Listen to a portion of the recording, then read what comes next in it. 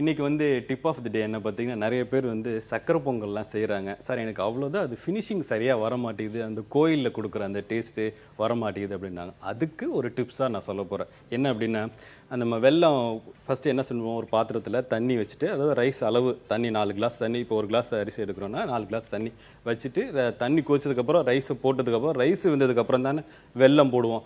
அந்த வெல்லம் இதெல்லாம் கரெக்டாக தான் பண்ணுறீங்க அந்த ரைஸ் எல்லாம் வெந்ததுக்கப்புறமா அந்த வெல்லம் இருக்கு பாருங்க. அந்த வெல்லத்தை பாக காய்ச்சிக்க சொல்றேன். பாகு எப்படின்னா ஒரு ஒரு கிளாஸ் இப்போ வெல்லம் எடுக்கிறீங்க அப்படின்னா அரை கிளாஸ் தண்ணி ஊற்றிட்டு அதை இருபது நிமிஷம் நல்லா குக் பண்ணீங்க அப்படின்னா அது நல்லா திக்காயிடும். அதை ஒரு சின்ன ஒரு சின்ன பாத்திரத்தில் எடுத்து அதை போட்டு பார்த்தீங்கன்னா நல்லா உருண்டையாக வரும். அதுக்கப்புறமா சேர்த்து பாருங்க சேர்த்து பாருங்களேன் அந்த சக்கரை பொங்கலில்.